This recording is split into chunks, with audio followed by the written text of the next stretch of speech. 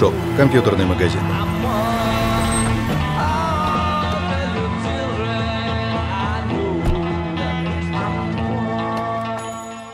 Так, о каких инвестициях может идти речь? Притормози, Стив. Я лишь проявил интерес, о деньгах речь не шла. Э, да. Только нами заинтересовались и другие. Неужели? Правда? Да, правда. Хм, как любопытно. А мне вот совсем так не показалось вчера вечером. Вы далеко не первый в нашем списке.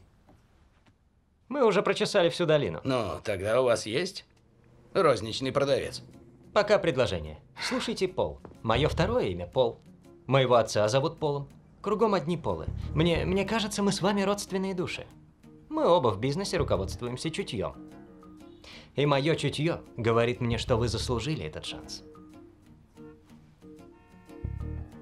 Заплачу за каждую машину 400 долларов. 50 штук. Расчет при поставке. 100 машин по 400 долларов. Треть денег вперед. Мы не ведем переговоров. Нет, ведем. Ладно.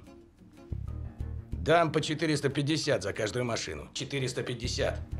Только при поставке, без аванса. Это затраты. Но и прибыль будет большая, если вы выполните условия. Когда я их выполню? Э, По 500 за штуку и договорились. Ну ладно. У тебя 90 дней. Уложусь в 60.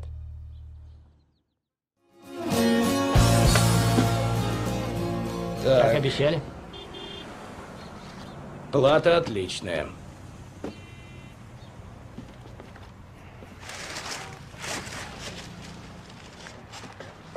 А где остальное? Остальное? Все здесь. Я заказывал 50 компьютеров с клавиатурой, в комплекте с мониторами и питанием, а не голые платы. Гол... пла- Голые платы? Вы говорите голые платы? Это, это, это произведение искусства. Эти, эти печатные платы сами по себе... Такого никто не делает. Они просто... Как вы смеете? Как вы Я, смеете? я думаю, мой... Мой коллега пытается сказать, что вы не видите всех возможностей этой платы. Она, она и так уже невероятный, обалденный компьютер. Только не для потребителя. Так может вашему потребителю стоит поучить, как, как управлять, как, как работать с этой платой, вам не Ребята, кажется? послушайте. Вы продавали мне домашний компьютер с клавиатурой и монитором, а это голая плата. Из нее получится отличный комплект для сборки, но обычный человек, самый обычный человек, не инженер, не член компьютерного клуба, как вы, никогда не поймет, что это за штуковина. Обычные люди не хотят сами себе собирать компьютер, они хотят его купить. Достать из коробки, включить в розетку и чтобы заработало. Стив, ты меня слышишь? Да. Но теперь это ваши платы. И они будут продаваться. Я даже не сомневаюсь в этом. Вы же видели их на нашей презентации. И на что они способны с правильно подобранными компонентами, которые, кстати, все до единого продаются у вас. Так что презентуйте их потребителю.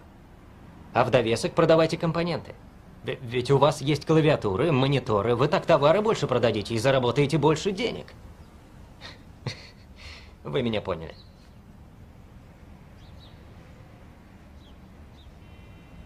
Ну ладно, Стив. Я попробую их продать. А если не смогу, нового заказа не будет. Ладно. Прекрасно. Правда, думаю, вас очень заинтересует наша следующая модель. Что за следующая модель? О чем ты говоришь? Все в одном.